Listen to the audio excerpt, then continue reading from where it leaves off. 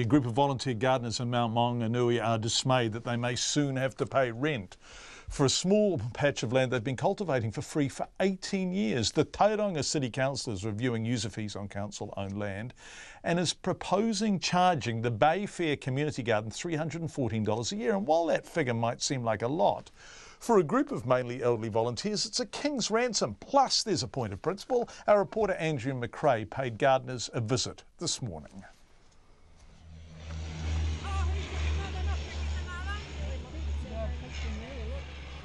You again? Saving those for seed, you bugger. What have I done wrong now?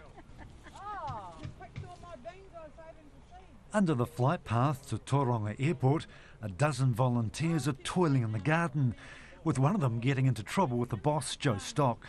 Right now, these girls are putting in some kale. It's it's a curly kale, and they Uh, the community garden's on a small patch of land, just over 500 square metres next to Arataki Park. It's fenced, and there are garden beds full of vegetables, a couple of sheds, and a compost area. The volunteers turn up twice a week. and I just give them a job, and we soon turn into a family, and we're quite a close knit group now. We're all supportive of each other. You know, we see each other through sickness and all kinds of things, and, and we really are like a family to each other.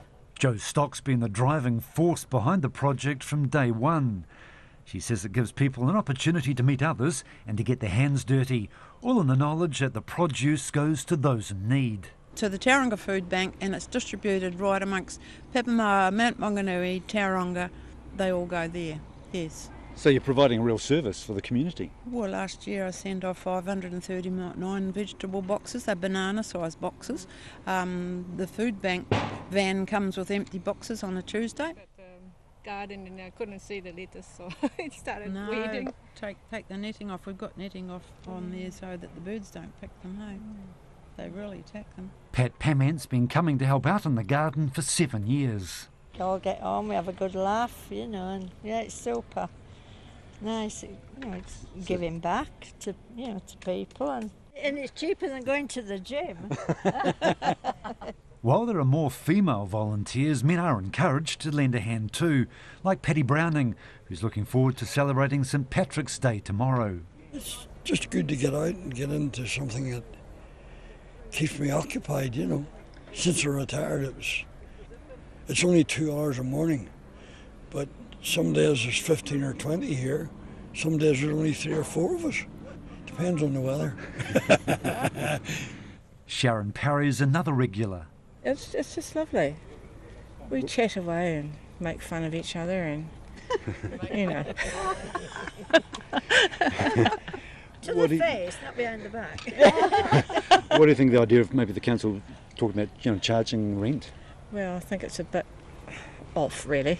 I don't think they're being very compassionate. Joe Stock says the letter from the council came as a real shock.